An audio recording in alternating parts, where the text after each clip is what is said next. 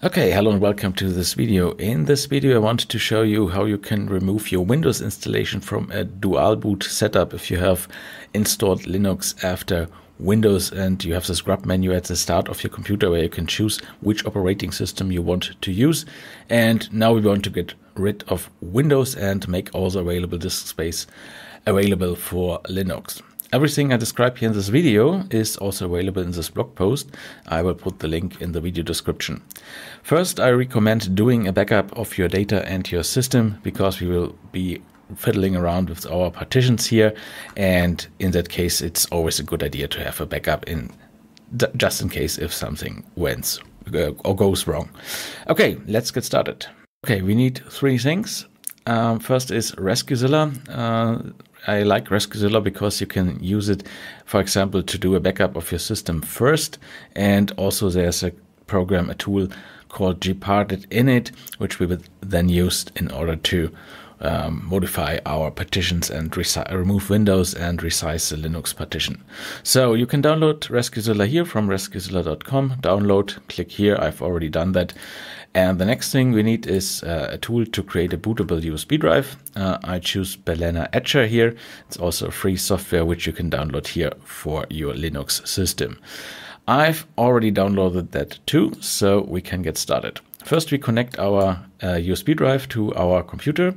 I've already done that too. And we extract a Balena Etcher here. It's a zip. We download a zip here and now we extract it. And this takes a few seconds. And well, I don't know why this is, uh, but it, I always get this error here. But in the end, it, it does not matter. So we enter the folder here. And here we start Balena Etcher. And this will then bring up this application here and we choose flash from file. Here we select our um, RescueZilla ISO, ISO file. Then we select the target, our USB drive. Uh, just in case uh, I have to mention it, uh, everything on this drive will be deleted. So if there's any important data on it, um, backup it first. And once this is done, we just click flash. And this creates now our bootable USB drive with RescueZilla on it. Takes a few seconds, minutes, and we will skip forward. Okay, once this is finished, we will now boot from our USB drive. So I connect it here to my computer and turn the computer on. And in my case, I have to hit the F12 key to get in the boot menu. It's different on every computer. And usually it's F12, F2, escape or whatever. You can see it.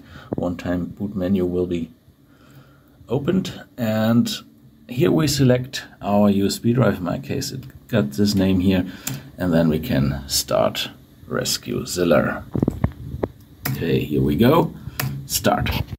Okay, here we go. Um, has started and we can now uh, close it here. Uh, the reason I use this uh, image, uh, or I like this RescueZilla image, you can use it also to do a backup of your computer before you continue. Okay, let's close it. And here on the desktop you find gparted, which is our tool which we can use to remove windows. And here we say our layout of our disk, we have this NTFS partition here. This is our Windows partition. This is our Linux partition.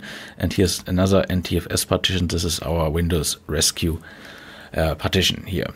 And now we're gonna delete the Windows partitions here. So we hit right click and delete on this one and also on this one here. Uh, don't worry, uh, the changes are only um, are getting getting written to the disk if you hit this button here. So if you make anything wrong here, you can just close it, start again, and nothing happened to your computer yet. Okay, now we have removed Windows, and now we right click here on our Linux partition and we resize and move here. And what we're gonna do is just resize our partition here that it uses all the available disk space resize and remove. We get this warning here. Uh, that's okay. That's a default warning. So we just hit OK. And this is now our new layout and all available disk space is now used for the Linux partition. Uh, now we hit this button here to write the partitions to our disk. Um, we are getting warned again, and um, as I said before, it, it is advised to have a backup before proceeding. Hit uh, apply and now the changes are written to the disk. Data is moved around. Partitions are getting deleted. And yeah so we have to wait a little bit. Okay everything is done now here. And now we're gonna reboot our computer. And hopefully linux will boot or still boot. Okay. Okay here we go. We still have our grub menu here. Windows is still here. We will get to that later. And well we can start linux now here and see if the boot logo appears.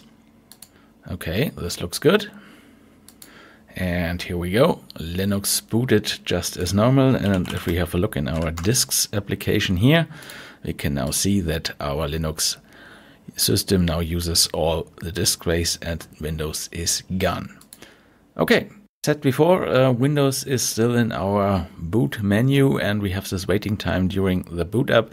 And I will address this in the next video. Uh, however, if you want to get it done urgently, uh, there's a blog post here and I will put the link in the video description with the commands you need to use in order to remove the Windows bootloader from your system. Okay, well, and that's it.